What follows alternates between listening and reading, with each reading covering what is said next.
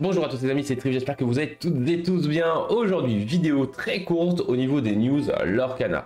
En effet, la semaine dernière, on en a eu quelques-unes de cartes qui ont été révélées, mais on n'en a pas beaucoup, donc euh, ça permet justement de hop hop hop, on va un peu balayer de suite, comme ça on aura des vidéos assez courtes jusqu'au dernier jour, où là par contre, on le sait très bien, une demi-heure de vidéo, ça fait plaisir.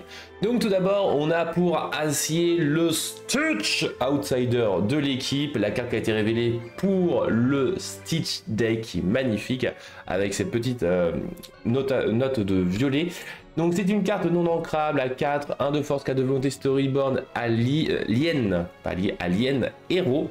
Cet outsider de l'équipe euh, va avoir une capacité OIS. Lorsque vous jouez ce personnage, vous allez pouvoir choisir un personnage et lui infliger 2 de dommages, 4 à 1. Euh, dessin de Karen à Lyon qui est magnifique avec euh, ses trois tentes derrière qui font penser justement aux couleurs de Pâquerette, Pimprenelle et Flora. Peut-être qu'elles seront présentes dans le 7.5 ou en tout cas très vite, j'espère, de nouveaux personnages avec la classification fait. Mais en tout cas, cette carte-là, pour ce qui est de mon avis, cette carte Uncommon, bah malheureusement, elle va pas être très utile parce que c'est un effet très fort, je dis pas le contraire. Cependant, ça ne gère pas les ordres d'atteinte, ça ne quête que à 1, c'est que quand vous la jouez, elle est non ancrable, elle coûte cher, elle a pas beaucoup de force. Bon, elle a une volonté notable, on va pas se mentir, mais voilà, c'est tout. Bon, elle a l'avantage d'avoir la classification alien, donc peut-être qu'un jour, sera utile. Mais en vrai, bah, malheureusement, c'est pas si transcendant. Peut-être pour un bleu-gris, par exemple, ça peut être pas mal. Pour un bleu-gris, euh, un petit saphir acier, ça peut faire plaisir.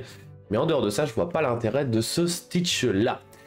Et c'est déjà la fin de Acier. Passons donc à Ruby. Hop, je vais me mettre en plein centre. Pourquoi en plein me direz-vous?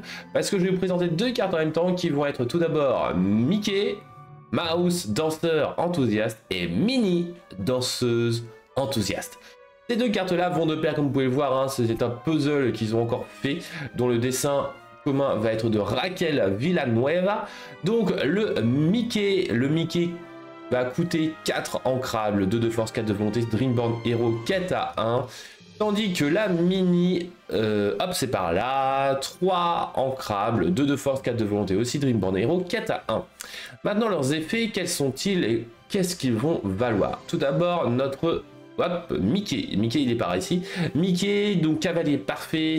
Tant que vous avez un personnage mini en jeu, ce personnage gagne 2 de force. Donc en vrai, ça peut être pas mal si vous jouez quelques mini intéressantes. Mais malheureusement, pour le moment, on n'a pas beaucoup de mini mouse. On a par contre euh, un max de mini mouse rouge, hein, on s'en rappelle. Euh, la mini plongeuse euh, aux yeux émerveillés, etc. Donc du 7 3 si je dis pas de bêtises. Donc en vrai, à voir si ce Mickey Mouse pourra eh bien, sortir son épingle du jeu.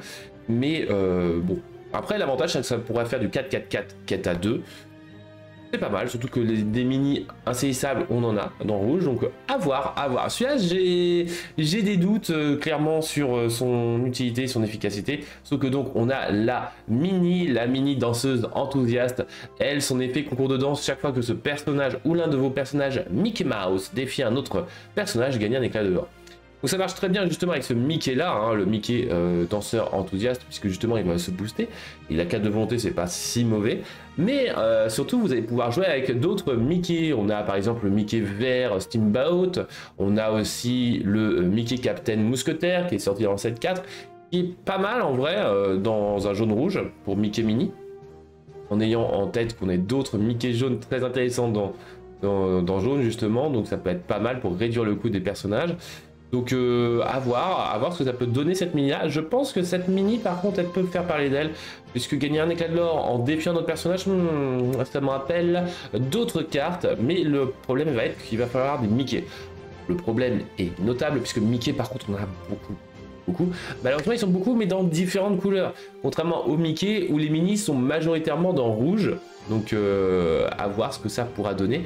On pourra avoir le retour aussi du Mickey brave petit tailleur, justement. Ça pourrait être très intéressant de le voir qui va euh, défier les personnages de partir à l'aventure. Bon après, je pense que l'intérêt ce sera plutôt de partir à l'aventure avec le brave petit tailleur que de défier, même si vous avez mini, parce que bon voilà.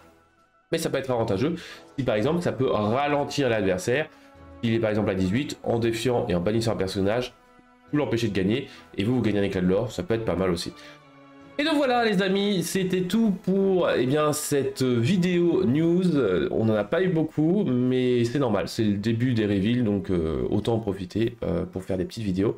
On se dit à la prochaine, c'était Trif et les Glimmers. Bye bye